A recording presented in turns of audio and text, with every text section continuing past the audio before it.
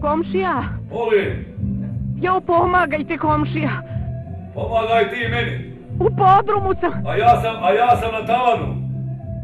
Joj, joj komšija, ne, ne vas baš najbolje. A ti si u podrumu, a ja na, a ja na tavanu. Komšija, alo, Da, alo komšija. jes, komšinica. Joj, ništa ne čujem. Slomio mi se ključ u bravi, u podrumu. A, a slomio ti se ključ. Ne mogu da izađem, znate, slučajno sam se zaključala. Dobro, dobro, ključić se ja. ja imam ključ za sve brave. Ne, ne čujem vas baš najbolje. Imam ključ za sve brave, ja ću se uključati, ne boj se. Ma ni makac Ja komšija. sam stari vuk, kod mene ne može ništa da se otme.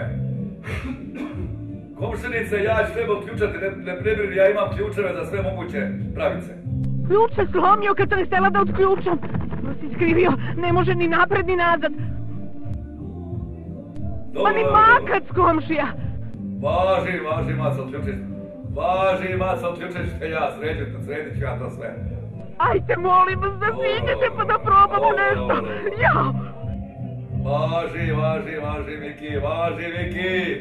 ključ se slomio kad sam htjela da otključam. Pa si skrivio, ne može ni napred ni nazad. Ma ni makac komšija. Pa gurnit ćete komšija.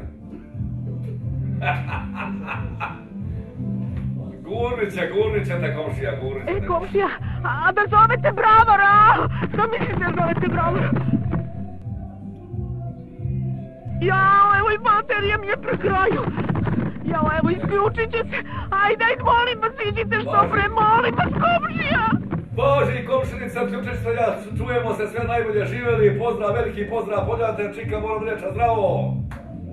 Šta kaže?